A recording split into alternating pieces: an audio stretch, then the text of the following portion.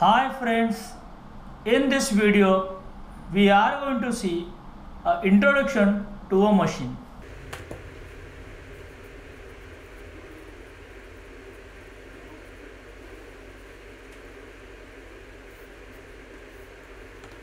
The study of electrical engineering involves the transfer of electrical energy from one form to another and preferably we do convert electrical energy into mechanical energy and mechanical energy back to electrical energy. This conversion is called as electromechanical conversion.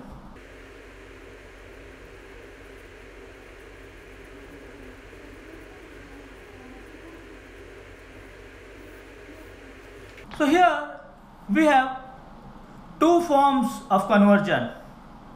In first form, we can convert mechanical energy into electrical energy.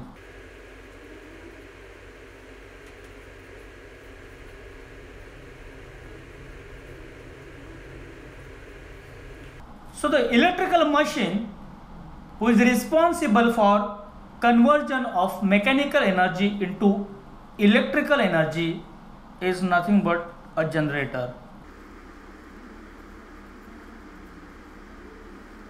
And second form is electrical energy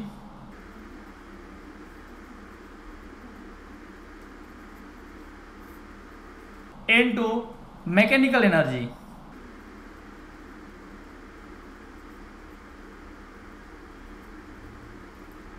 Electrical machine who is responsible of converting or transferring electrical energy into mechanical energy is nothing but a motor.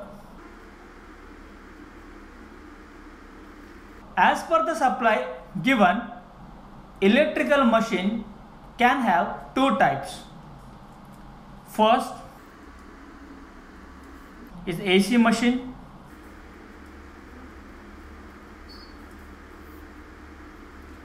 electrical machine which works on alternating supply is nothing but AC machine.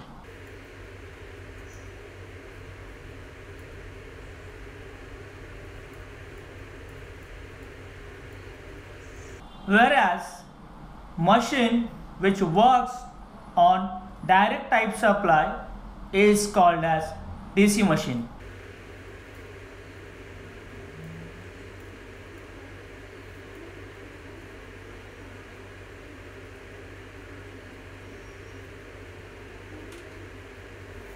So here we are going to learn about DC machine. So we will be seeing DC generator, DC motor, then EMF equation, construction of DC machine and types of DC machines that is types of DC generator and types of DC motors. Thank you.